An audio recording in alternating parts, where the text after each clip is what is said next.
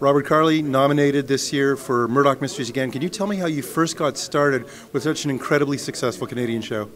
Uh, sure. Well, it's it's actually no, it's been a good ride. We're now on season nine, um, and so going way back, there was a series of movies made, uh, 2003, 2004, adaptations of the Maureen Jennings novels about Murdoch. Uh, and Shaftesbury produced them, and they were they were kind of dark, and um, there was I think three in total and from that, they, they decided to, to try making it into a series, uh, changing the tone slightly. And you know, when you get started on these things, you're just like, whatever, another show, sure, I'll try it out. You have no idea. It's kind of, it must be like, you know, when you write a hit song. I don't know, I've never written a hit song, but if you wrote a hit song as a as a singer songwriter, you don't really know what's going to happen in the future of that song. And and those hits, you know, they might live on for decades. And not that Murdoch will, but it's lived on for one decade so far, and it's uh, always a surprise and a pleasure, you know.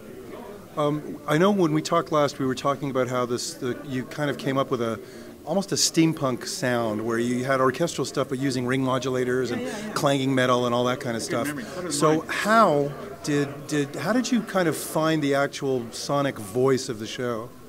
A good question. I mean, that's always the challenge, right? Is trying to figure out what it's going to be. Um, it, we were lucky. I fell into it really. I mean, I did this thing with the metals and the, didn't even think steampunk. I didn't even think the term had been coined, I had not heard it uh, back in 2006 or seven when it all started. Um, and it sort of evolved, and we we you know the sound was working. They didn't at first. They didn't really want didn't want it to be too traditional sounding in terms of the orchestration. Not like not a lot of strings. Let's have more edgy metallic kind of sounds, kind of grating kind of sounds.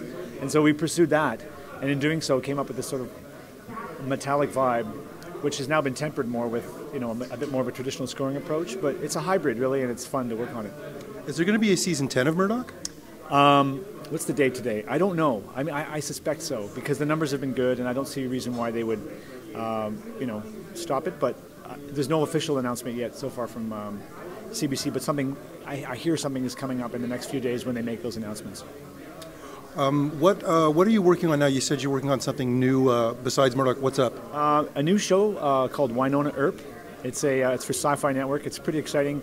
It's based on the life of uh, Wynonna Earp, who is the great great granddaughter of Wyatt Earp, gunslinger, and she's tasked with um, killing all of the.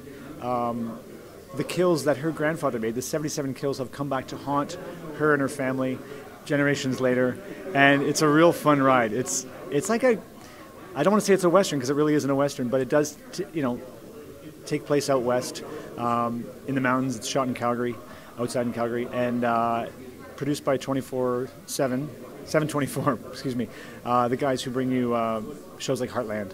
It's their newest vehicle and it's really a ride. It's really fun. It's, it sounds amazing. What kind of sound are you looking at for that at this point? Again this is an, an interesting one. I mean i'm teamed up with pete chapman uh, another great composer, and he and I have come up with a real a real hybrid. His Pete's strength is really an EDM kind of stuff. He's got some great sounds and great sound design, great percussion and drums, and so you marry that with um, my sort of more, I guess, orchestral aesthetic, and uh, you get a real superhero sound. Let me tell you. Yeah.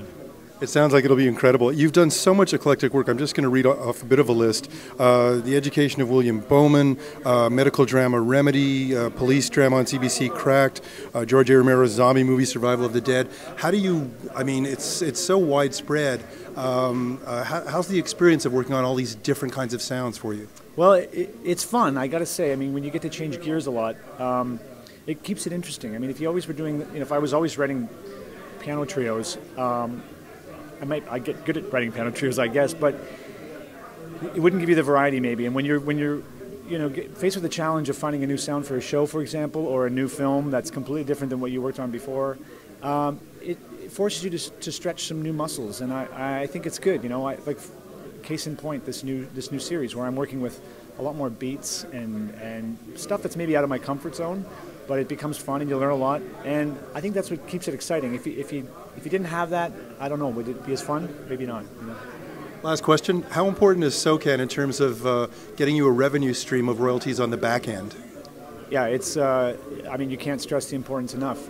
Um, as you know, our business is like up and down. You never know, it's feast or famine, really. And so those times when maybe you don't have a show coming up or you're, you're taking a summer off to spend with your kids, um, it's because of SOCAN that we have the comfort to know that our lives and our income is not going are not going to be jeopardized for those those times when either it's dry or you just need to get away from it, or you want to pursue other kinds of writing projects um, that may not be financially kind of uh, rewarding. So. I can't stress enough the importance of SOCAN and the role that it plays in composers' lives. Thanks so much, Rob, and congratulations again on the nomination. Thank you. Thank you, Howard.